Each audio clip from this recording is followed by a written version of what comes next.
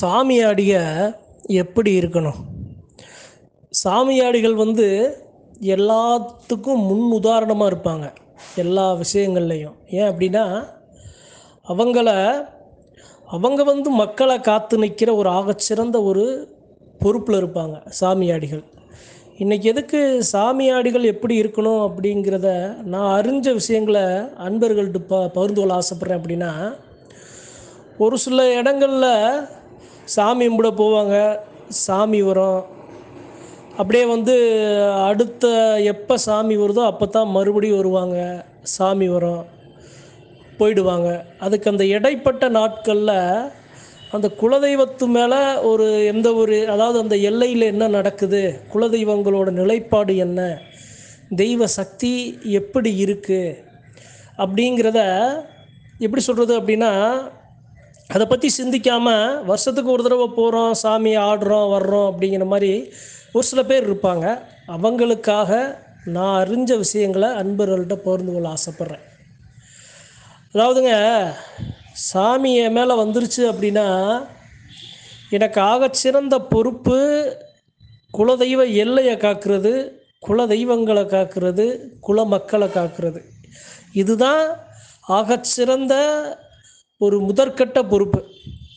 இந்த விஷயத்தில் இப்போ என் எல்லையில் ஏதாவது ஒரு தெய்வங்களுக்கு இல்லை என் சாமி என் சாமி வர்ற மற்றொரு சாமியாடிக்கு ஏதாவது ஒரு பிரச்சனை நடக்குது அப்படின்னா நான் வாய்கட்டி நான் அமைதியாக இருந்துடக்கூடாது என் மேலே சாமி வருது அப்படின்னா கண்டிப்பாக எனக்கு காட்டி கொடுக்கும். இப்போ என் சாமியாடிகள் என் கும்பலை வந்து என் பங்காளிகள் ஒரு ஆறு பேர் ஏழு பேருக்கு சாமி வருது அப்படின்னா அந்த ஏழு பேருக்கு ஏதாவது ஒரு பிரச்சனைகள் வருது. அவங்க மேலே இருக்கிற சாமியை வந்து ஒரு சில தீய வினைகளில் வந்து அந்த தெய்வத்தை பேசக்கூடாது தெய்வத்தை மறிக்கணும் அப்படிங்கிற மாதிரி இல்லை அவங்கள வந்து அவ- ஒரு வளர விடக்கூடாது அப்படிங்கிற மாதிரி ஒரு சில பிரச்சனைகள் நடந்தாலும் அதை வந்து உண்மையாக சாமி வர்ற எல்லா சாமியாடிகளுக்கும் தெய்வம் காட்டி கொடுக்கும். சத்தியமாக காட்டி கொடுக்கும். அப்போ அது கனவுல தெரியுது அப்படிங்கிறதுனால நாம் வந்து அதாவது இதை அது காட்டி கொடுக்கறதுனால நம்ம போய் பேசி நம்ம உறவுகளுக்குள்ளே நம்ம அதுக்குள்ளே வந்து நாம் ஒரு சங்கடத்தையும் ஒரு பிரச்சனையும் நாம் உருவாக்க உருவாக்கணுங்கிறதுக்காக இதை நான் சொல்ல வரல. அப்போ நம்ம என்ன பண்ணணும்? இப்போ என் சாமியாடிக்கு ஒருத்தருக்கு பிரச்சனை இருக்குது அப்படின்னு நான் என்ன பண்ணணும்னா அவர் பக்கம் நிற்கணும்ல அவர் அநியாயத்தின் பக்கம் நின்னாருன்னா அவர் பக்கம் நிற்க வேண்டிய அவசியம் இல்லை. அவர் நியாயத்தின் பக்கம் நீதியின் பக்கம் நேர்மையின் பக்கம் சத்தியத்தின் பக்கம் அவர் நின்னார். அவருக்கு ஒரு சில வீழ்ச்சிகள் நடைபெறுது ஒரு சில சூதுகள் அங்கே அவர் அவருக்கு அவர் அவரை நெருங்குது அப்படின்னா அவர் கூட நான் நிற்கணும்ல அதானங்க குலதெய்வ மாண்பு. அதான சாமியாடிகளுக்கு இருக்கிற ஒரு மாண்பு. எதுக்கு அண்ணன் தம்பி தெய்வம் அக்கால் தங்கச்சி தெய்வம் எதுக்கு வந்து தன்னுடைய சொந்தங்களாக தெய்வங்கள் வந்து பின்னி பிணைய இருக்கிறது காரணம் என்ன? அண்ணன் அடித்தா தம்பி ஓடி வருவாங்க தம்பி அடித்தா அண்ணன் ஓடி வருவாங்க. அப்போ அதே மாதிரி தானே அண்ணன் தம்பி சுமக்கிற சாமியை சுமக்கிற அந்த உறவுகளும் அப்படித்தானே இருக்கணும்? அதனால் இந்த பதிவில் அன்பர்களுக்கு என்ன சொல்கிறேன் அப்படி என்ன சொல்ல ஆசைப்பட்றேன் அப்படின்னா சாமியாடிகள் எப்படி இருக்கணும் அப்படின்னா மற்ற சாமியாடிகளுடைய வழிகளையும் வேதனைகளையும் உணர்வுகளையும் புரிஞ்சு கொள்ளணும்னு சொல்ல வர்றேன். இப்போ ஒரு சின்ன உதாரணம் சொல்கிறேன் சாமி ஆடுறாங்க. சபையில் வந்து ஒரு நாலஞ்சு பேர் சாமி ஆடிட்டாங்க. உண்மையாக சாமி வந்துருச்சு. பொய்யா ஆடலை போலி சாமி ஆடலை. உண்மையாக சாமி வந்துருச்சு. அப்போ என்ன ஆகுது அந்த உண்மையாக சாமி வந்து ஒரு சாமி ஆடிக்கு ஒரு சில பிரச்சனைகள் வருது.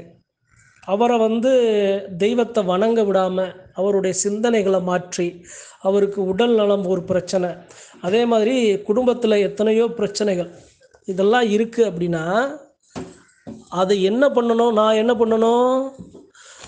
அப்போ அது எனக்கு தெரிய வருது. என் சாமி எனக்கு காட்டி கொடுக்குது அப்படின்னா நான் என்ன பண்ணணும் அப்படின்னா மனதளவுலையாவது அவருக்கு அழைச்சி அவர்கிட்ட பேசி ஒரு ஊக்கத்தை கொடுக்கணும்.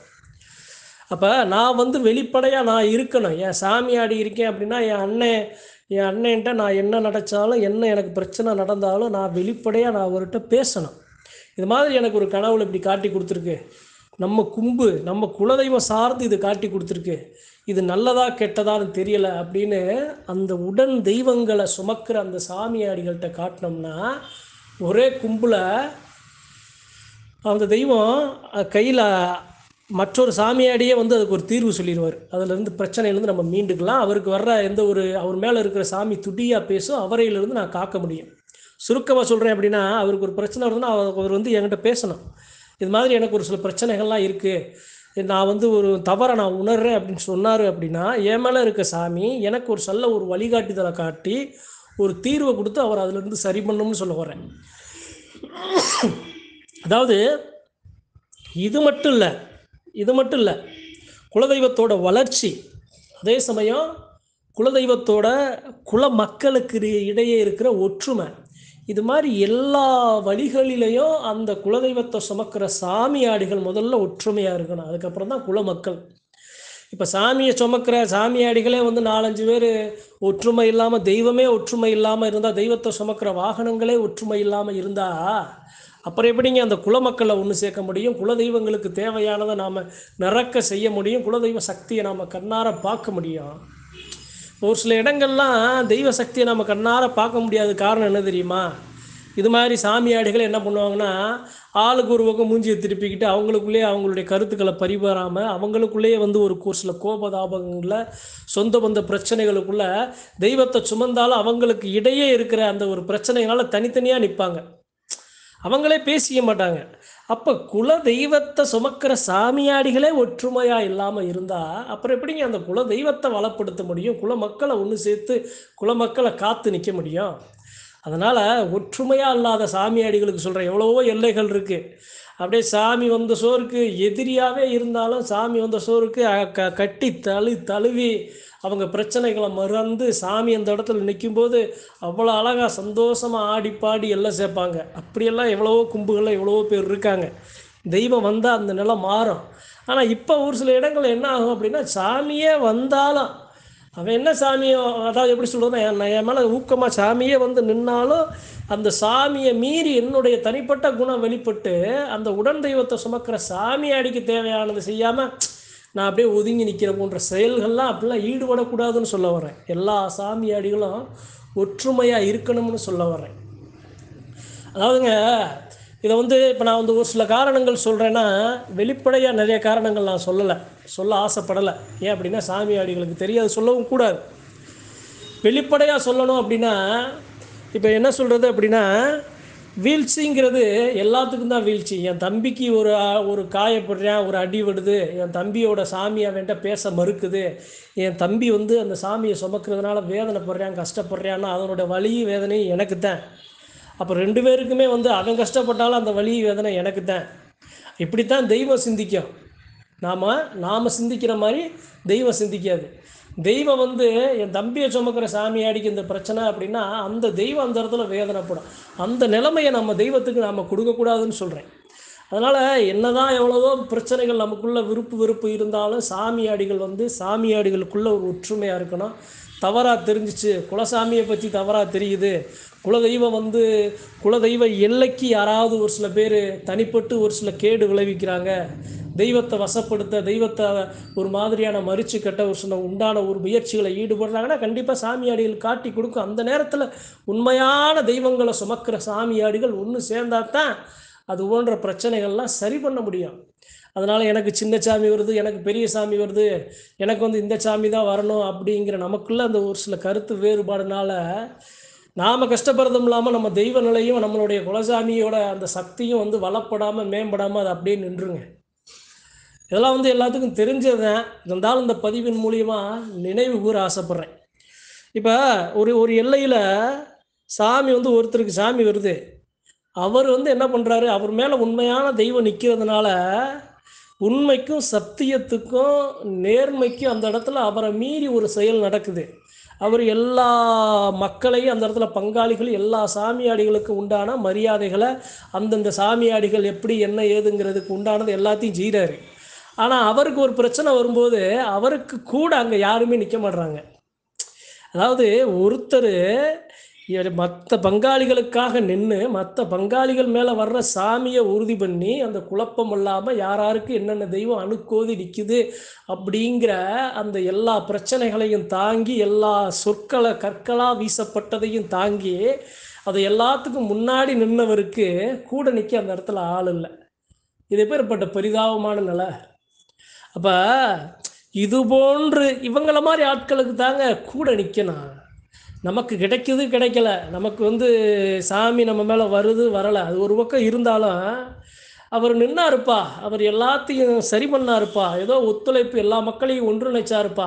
தெய்வத்தை அடையாளம் காட்டினாருப்பா. கொண்டு போய் எல்லாம் சேர்த்தாருப்பா. அவர் கூட நிற்கணும்ப்பா அவருக்கு ஒரு பிரச்சனை வருதுன்னா அவர் பக்கத்தில் நிற்கணுப்பான்னு போய் நிற்கணும் அதுவும் குலதெய்வ மாண்பு தான் எல்லா தெய்வங்களோட மாண்பு தான் அப்படி நிற்காம எல்லாம் வந்து நமக்கு கிடைக்கிறதெல்லாம் கிடைச்சிட்டு நம்ம வாங்குறதெல்லாம் வாங்கிட்டு கடைசியில் நமக்கு வந்து நம்ம நம்ம அதை எல்லாத்தையும் நாம் அனுபவிச்சுட்டு அதுக்கப்புறம் அதை வந்து அப்படியே அதோகதியாக விடுறதுங்கிறது நல்லா இருக்காதுல்ல?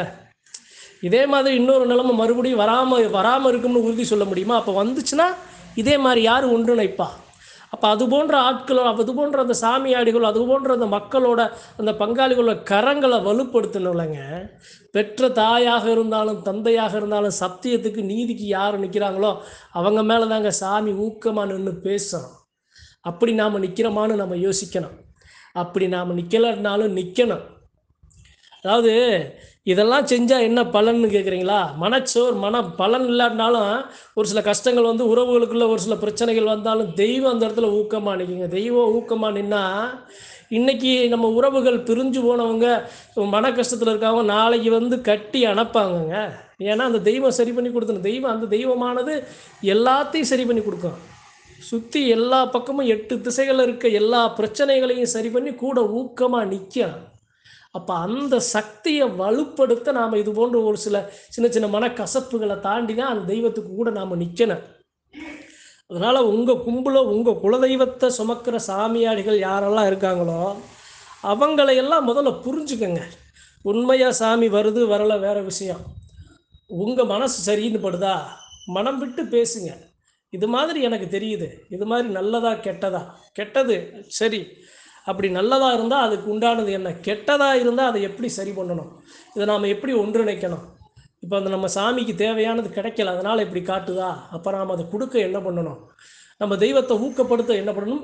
இது மாதிரி பேசினா தானங்க இப்போ இது நாம் பெருமையாக நம்ம பேசிக்கிறோம்ல. இருபத்தோரு தெய்வம் பதினாலு தெய்வம் ஏழு தெய்வம் அண்ணன் தம்பி தெய்வம் அப்பேற்பட்ட தெய்வம் பெருந்த மலை மலை போல தெய்வம்னு நாம் பெருமையாக நம்ம பேசினாலும் நாம் அந்த தெய்வத்துக்கு இது போன்று ஒற்றுமையாக நின்று அதை அதை நாம் செஞ்சு அதை அந்த தெய்வத்தோட கரங்கள் அந்த சக்தியை ஒரு தெய்வமாக இருந்தாலும் அதை வலுப்படுத்தினா தானங்க தெய்வ சக்தி அந்த கும்பவே காத்து நிற்பது என்ன ஆகும் அப்படின்னா நாமளே ஒற்றுமையாக இல்லை சாமியாடிகளே இப்படி மாறி மாறி நின்னோம் அப்படின்னா அந்த தெய்வமே அந்த இடத்துல என்ன ஆகும்னா பேச வர தயங்குங்க. ஒதுங்கி நின்றுக்கிறோம் என் பிள்ளைகளே அந்த இடத்துல ஒரு நிலையாக இல்லாமல் மன கஷ்டத்தில் கசப்பில் நிற்கிறாங்கய்யா மறுபடியும் என் பிள்ளைகளுக்கு நான் போய் கஷ்டத்தை கொடுக்க விரும்பலைன்னு தெய்வம் ஓரமாக ஒதுங்கி நின்றுக்கிறோம் அப்போ நம்மளா மனுஷங்களா நம்மளா தான் ஆடி பாடி நம்மளா வந்து ஒரு சில ஒரு கூச்சல் ஒரு குழப்பம் ஒரு சில மன கஷ்டங்களை அது மாதிரி சாமி வந்துச்சு வரலை பேசிச்சு பெறலை இந்த சாமி சரியாக வரலை அப்படிங்கிற எல்லா பிரச்சனைகளும் காரணம் நாமளாக தான் இருப்போம். அதனால் தெய்வத்தை சுமக்கிற சாமியாடிகள் எல்லாத்துக்கும் சொல்கிறேன் முடிஞ்சளவு உங்கள் சாமியாடிகளில் ஒற்றுமையாக இருங்க. கோவில் சார்ந்து எந்த ஒரு கனவுகளோ இல்லை அசரீத வாக்குகளோ தவறாக பட்டுச்சுன்னா அதை சாமி மற்ற சாமியாடிகள்கிட்ட கலந்து பேசுங்க. பொதுவில் பேசுகிறதுக்கு முன்னாடி தன்னுடைய நெருங்கிய சொந்தத்துக்கு பேசுகிறதுக்கு முன்னாடி ஒரு எதிரியாகவே இருந்தாலும் அவர் மேலே உண்மையான ஒரு சாமி வருதுன்னு நீங்கள் நம்புனீங்கன்னா அவர்கிட்ட ஃபோன் போட்டு தைரியமாக அவரை அழைச்சி இது போன்ற அந்த விஷயங்களை பகிர்ந்து கொள்ளுங்கள் அப்படி நீங்கள் பகிர்ந்து கொள்ளும்போது அதற்கு ஒரு தீர்வு கிடைக்கும். அந்த தீர்வானது உங்கள் மேலே இருக்க சாமியையும் ஊக்கப்படுத்தும். உங்கள் குலதெய்வ இல்லை எல்லையில் இருக்க தெய்வங்களையும் ஊக்கப்படுத்துங்கிறதுக்காகத்தான் இன்னைக்கு நான் அறிஞ்சது அன்பர்கள்ட்ட பகிர்ந்து கொள்ள ஆசைப்பட்டேன். நன்றி வணக்கம். மற்றும் ஒரு பதிவில் சந்திப்போம்.